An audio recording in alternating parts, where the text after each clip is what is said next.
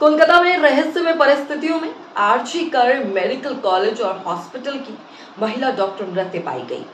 वे अस्पताल में स्थानकोत्तर दिव्य वर्ष की मेडिकल छात्रा थी और चेस्ट मेडिसिन विभाग में हाउस स्टाफ के रूप में भी काम कर रही थी।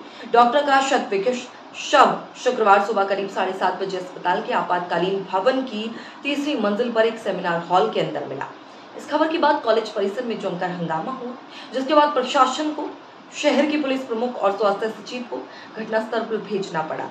एक वरिष्ठ पुलिस अधिकारी ने इस मामले की जानकारी देते हुए बताया कि न्यायिक जाँच में गुप्तांगों सहित पूरे शरीर पर चोटें पाई गई। चेहरे पर खून के धब्बे और कॉलर बोन टूटी हुई, जो दर्शाता है कि उसका गला घोटा गया। पुलिस ने हत्या की जाँच के लिए एक विशेष जाँच दल का गठन किया है और एफआईआर में यौन उत्पीड़न के आरोप जोड़ने के लिए तीन सदस्य शव परीक्षण दल की औपचारिक रिपोर्ट का इंतज़ार कर रही है। फोरेंसिक विशेषज्ञों ने कहा कि उन्हें उसे गद्दे पर खून के धब्बे और मानव बाल मिले, जिस पर वह लेटी हुई थी और शव के बगल में एक टूटा हुआ चश्मा मिला। सीएम ममता बनर्जी ने डॉक्टर के पिता को फ़ोन किया।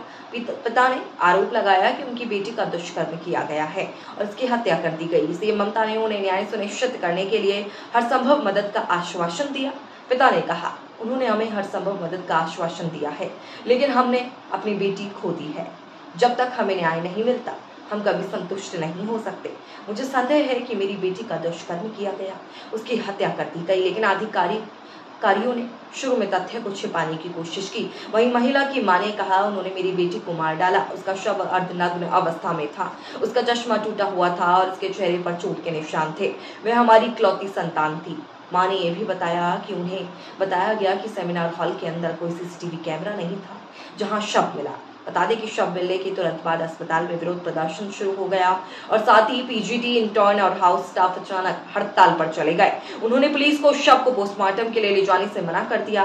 जब तक कि पोस्टमार्टम और जाँच के लिए तय की गई शर्तें पूरी नहीं हो जाती, विभिन्न चिकित्सा संगठनों और राजनीतिक दलों ने भी अस्पताल में धावा बोल दिया और बाद में विरोध प्रदर्शन में शामिल हो गए। अस्पताल के अधिकारियों ने घटना की जाँच के लिए ग्यारह सदस्य आंतरिक समिति गठित की, पोस्टमार्टम की निगरानी तीन सदस्य समिति ने की और इसकी वीडियोग्राफी भी की गई। अस्पताल के M S VP Sanjay Vashishtha ने कहा कि मामले की न्यायिक जाँच होगी। उन्होंने ये भी कहा कि निष्पक्ष जाँच होगी।